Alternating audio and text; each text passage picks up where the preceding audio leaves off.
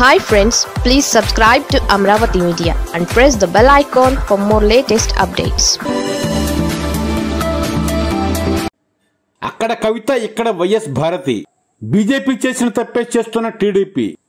తెలంగాణలో బీజేపీ ఏ తప్పు అయితే చేస్తోందో ఏపీలో టీడీపీ కూడా సేమ్ టు సేమ్ అదే తప్పు చేస్తోంది.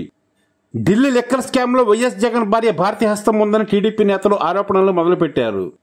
లెక్కర్ స్కామ్ పై దర్యాప్తు చేస్తున్న సంస్థ భారతి పేరును ఇప్పటివరకు ఎక్కడా ప్రస్తావించలేదు. అయినా సరే ఏదేదో బీరకాయ పీచు సంబంధం అంటకట్టేసి భారతి పేరునే సీబీఐ ప్రస్తావించిందంటూ టీడీపీ నేతలంతా పదే పదే ఆరోపిస్తున్నారు.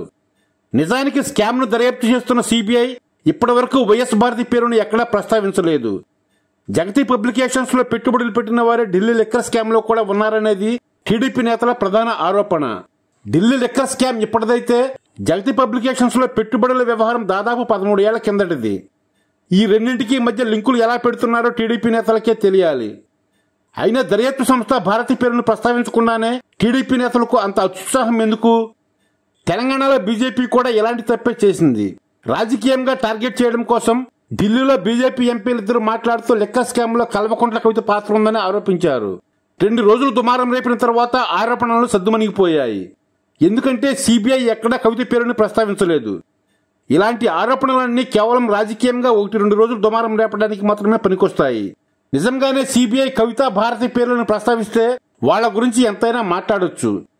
ఎలాంటి ఆధారాలు లేకుండా భారత్పై టీడీపీ నేతలు ఆరోపణలు చేస్తున్నారు.